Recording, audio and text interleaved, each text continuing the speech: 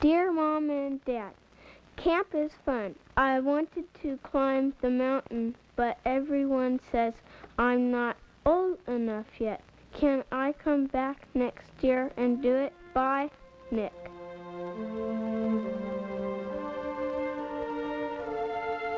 Mount St. Helens, a 9,677 foot sleeping volcano nestled in the wild abundance of the Gifford Pinchot National Forest in southwest Washington.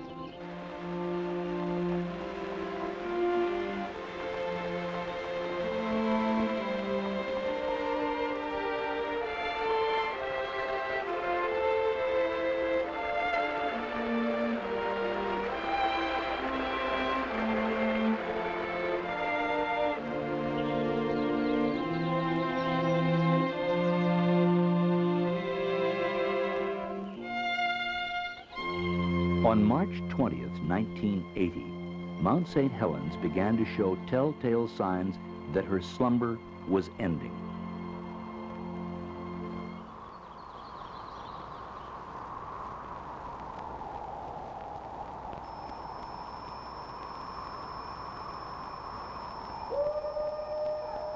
After the last great ice age had retreated northward, the Cascades were already well established running from Northern California through Oregon, Washington, and into Canada. But there was one peak amongst them that was not so well established. Compared to the rest, she was a teenage mountain, and like most teens, had growing pains.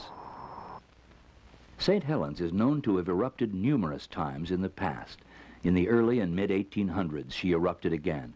It's small wonder local Native Americans in a variety of tribal languages called this peak basically the same thing, Fire Mountain. The view from the summit of Mount St. Helens was breathtaking.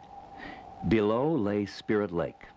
In the distance, an older peak, Mount Rainier. The lake was a haven for recreational activities and youth camps the YMCA's Camp Meehan being the first. Thousands of youngsters flocked to the lake over the years, learning how to row a boat even when the oarlocks wouldn't stay put, sailing a wind that seemed to rise from the blue-green depths of the lake itself, always discovering new friends, the diamond-encrusted night skies, and how to cook an egg on a stick. There were national forest campgrounds on the lake, too, Bear Cove, Cedar Creek, Donnybrook, and beyond them stretched the forest. A living museum for the curious, a place as close to heaven as one could get. At Trail's End, there were places that were like living in a postcard world.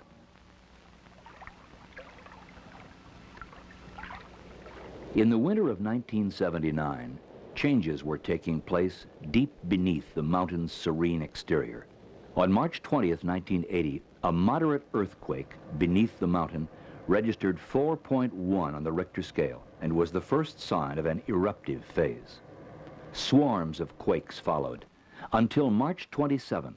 We are directly over Mount St. Helens right now, and there is no question at all that the volcanic activity has begun. You can see smoke and ash pouring from the top of the mountain, especially on the north side of the mountain.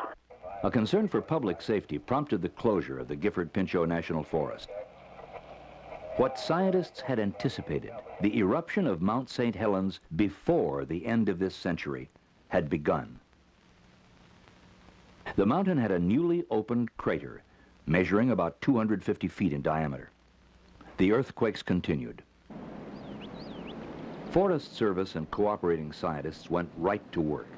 845. Ringing the mountain with an array of gadgets, hoping to document even the slightest twinge.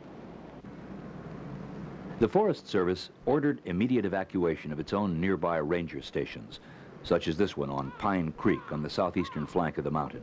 They also strongly urged others having homes, lodges, or camps near the mountain to do the same. On the morning of March 29th, a second crater was observed, which had opened during the night. The new crater measured 75 feet wide and 30 to 60 feet deep.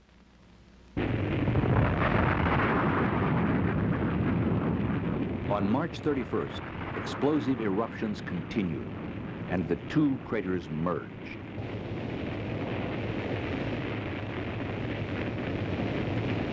For the next several days, the mountain continued to spew ash and steam. Then, eruptive activity decreased. However, a bulge noticed earlier on the north-northeast flank of the mountain near Goat Rocks was found to be moving north-northwest at about five feet a day. Scientist David Johnston expressed the opinions of the U.S. Geological Survey.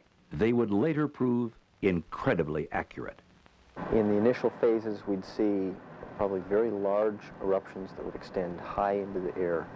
This would spread ash over large areas in western Washington, maybe possibly in an extreme case even farther east.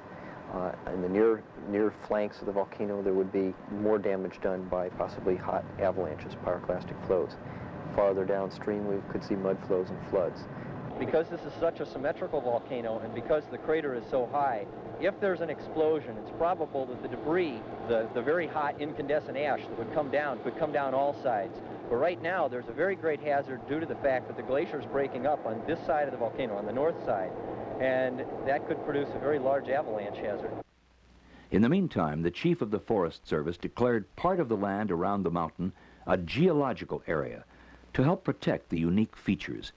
The Forest Service and the U.S. Geological Survey were taking the mountains seriously, as did the Spirit Lake Youth Camp operators, who coordinated their efforts and along with a donated helicopter and a large refuse bin, began hauling out.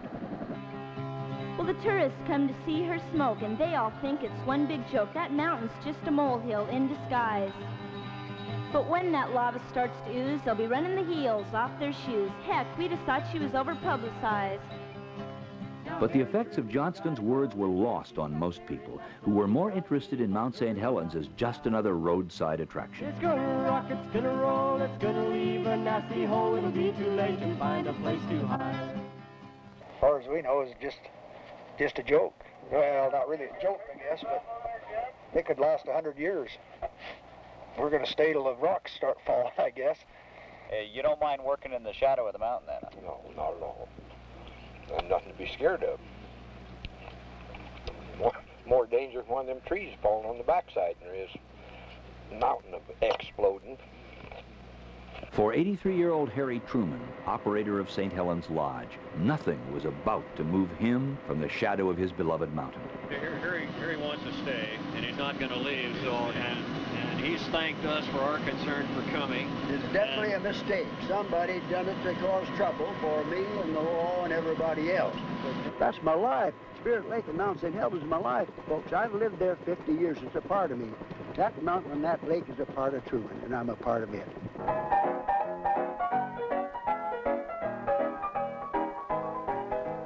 The pressure was building, but Harry wouldn't budge.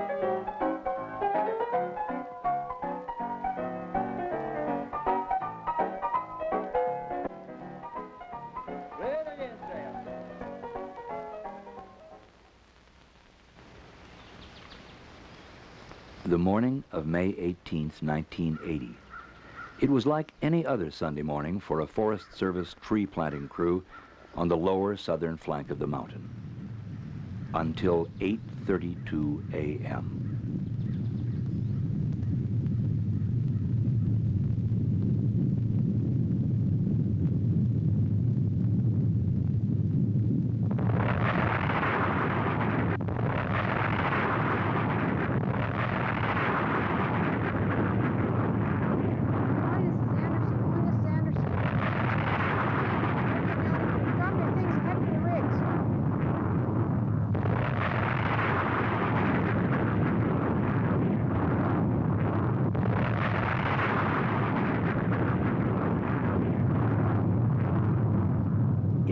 To happen in an instant. A cubic mile, tons of ash, rock, and ice were rocketed into the stratosphere. The cloud reached nearly 14 miles into the sky. the view was spectacular. But the wind was blowing in a northeasterly direction, and from that point of view, the cloud seemed like the end of the world.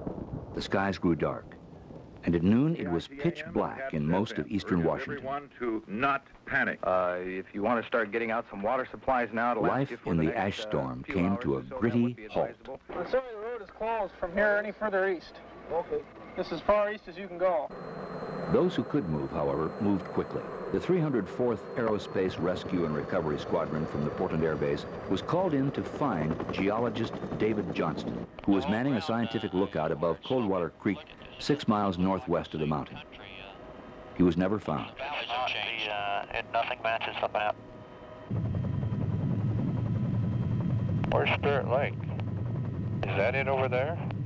I can't believe I've camped up in this area. Doesn't look like any place I've ever been before. As most of you already know, we had a major eruption occurring at 8.32 approximately this morning on Mount St. Helens. The first report that we actually got about the eruption was from Forest Service personnel that were administering a tree planting contract, and they reported over the radio to us that an eruption was occurring, and it seemed to be about 100 times greater than one that we've ever had in the past. It does appear that the northwest flank of the mountain seems to be gone. We, they have indicated that there have been some mud flows that have come down the southeast flank of the mountain. Emergency procedures have been put into effect. At 10:15 this morning, the Cowlitz County reported that a 12-foot wall of water was coming down the Toutle River, and this was verified by the Washington State Patrol. The largest rescue mission in the history of the Northwest was soon underway. Look to the left now. Good. What do you have with that? That from over here? Military helicopter units and other rescue squads joined the effort, coordinated by the county sheriff departments. By the end of the rescue operations, which lasted two weeks, more than 170 people were brought to safety. But in the final count, 61 were dead or missing. Japanese car sometime. Rotor wash from the helicopters kicked up great clouds of ash, making rescue difficult. In many places, it was impossible to land. Rescuers were lowered by cable to assist survivors who were then reeled to safety. Tons of ice and snow, melted by the intense heat of the raging volcano, mixed with the ash and began rampaging down the flanks of the volcano. One mud flow reached Swift Reservoir, about 10 miles to the south. But it was the debris-laden walls of water which tore down the north fork of the Toutle River that proved most spectacular and devastating. There is a mudslide down the mountain right now. Get off the bridge! Let's get they filmed it.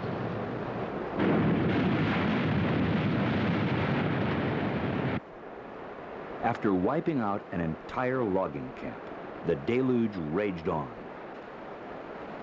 In a matter of hours, this river of destruction surged under the Toutle River Bridge on Interstate 5, closing the main arterial between Portland and Seattle.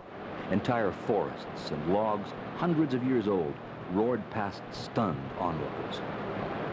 From the Toutle to the Cowlitz to the Columbia River, first attempts at clearing the debris became exercises in futility. For the first time in decades, the lower Columbia River was closed to freighter traffic.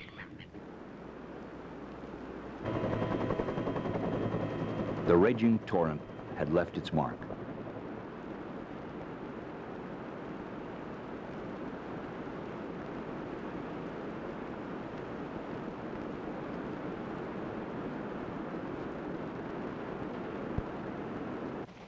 In a matter of hours, the winds carried the growing ash plume over Idaho and Montana. A month later, the plume had circled the entire Earth. In the wake of the plume, ash was everywhere.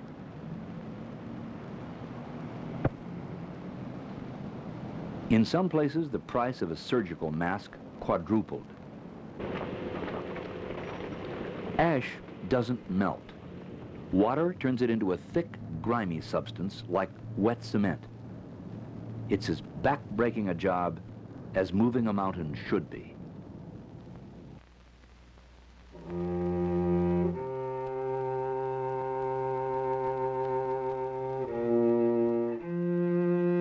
When the skies finally cleared, Gifford Pinchot National Forest personnel began the sad task of assessing the damage. Acres upon acres of prime timber flattened. Bridges, roads, campgrounds, trails, all obliterated, buried, destroyed. Spirit Lake was a steaming quagmire of debris. The entire north flank of the mountain was gone, and that proved the key to understanding exactly what had occurred on the morning of May 18th. The initial event was a major earthquake. A devastating lateral explosion followed, destroying nearly every living thing in its path, including Harry Truman. The initial force of the eruption had been across the land instead of blasting skyward.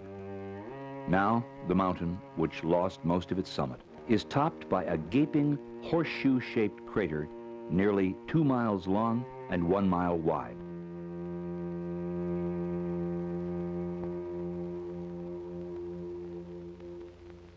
The perilous vantage point of a still photographer and the actual recorded voice of an eyewitness with a two-way radio bring the tremendous force of the May 18th eruption into chilling focus. Oh, I just felt an earthquake, a good one. Oh, now we've got down here. Now we got a big slide coming off. The slide is coming off of the west slope. The, uh, now we got a whole great big uh, eruption out of the uh, crater. And we got another that opened up on the west side, a whole west side, northwest side is sliding down. Oh, we got it, boy. The whole northwest section uh, and north section blown up, flying to, it's coming up over the ridge towards me. I'm going to back out of here. Photographer Gary Rosenquist barely escaped. Radio operator Jerry Martin did not. A recovery and planning team undertook an immediate survey of the area and began one of the most intensive planning efforts in the history of the Forest Service. Their preferred plan called for extensive protection of this window into the Earth's building process while recovering a portion of the downed timber and rehabilitating the land. Although at much lesser intensity, the mountain erupted five more times during 1980.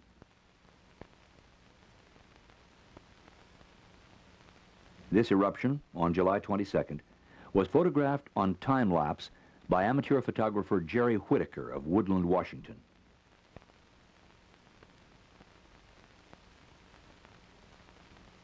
Meanwhile, a watchful eye is kept on the steamy crater and surrounding area. Some say the mountain shows signs of going back to sleep. Others say that's not likely, yet. But the fact is, no one knows for sure, and so the vigil continues. Geological Survey scientists visit the crater and surrounding area as frequently as conditions permit.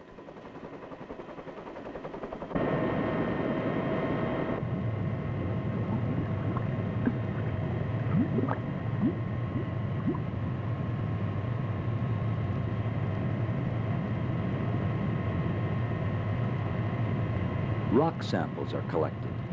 Distances between established points are measured electronically to detect any swelling or deflation of the volcano.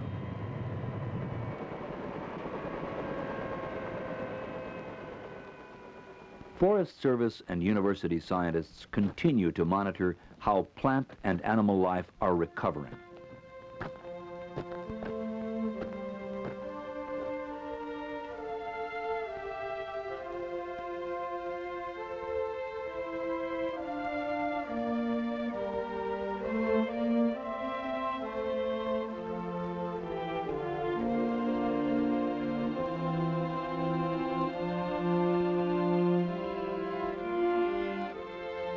Volcanoes are secretive and unpredictable things. St. Helens could stay active for a week, a decade, longer. But sooner or later, by one manner or another, she will change again. That's the way it is with volcanoes. To be sure, much will happen in the meantime. Trees and huckleberries and wild animals will return to the mountain's flanks. Spirit Lake will become clear and blue-green again. gurgling streams will again be favorite haunts of the trout and the fishermen. But for now, we have a landscape in transition, a rare opportunity to learn from the earth what the earth is made of, why it changes, and perhaps even when it will change again. For those who find the loss of a mountain as it once was difficult to bear, there is consolation in a long-range program which will protect the marvel of the area's natural recovery, allowing many generations to replay the instant of destruction, while at the same time being eyewitnesses to the magnificent healing powers of nature.